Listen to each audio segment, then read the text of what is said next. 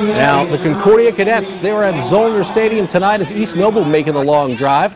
Concordia airing it out on the first possession. Jake Bird, oh, missed part of last season with a thumb injury. Well, Kamari Anderson Drew is a good person to throw it to. Great catch there by KAD. He was out at the one. Then Amir Drew runs it in for the touchdown.